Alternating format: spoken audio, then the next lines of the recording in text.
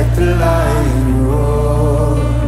Hail, hail, Lion of Judah.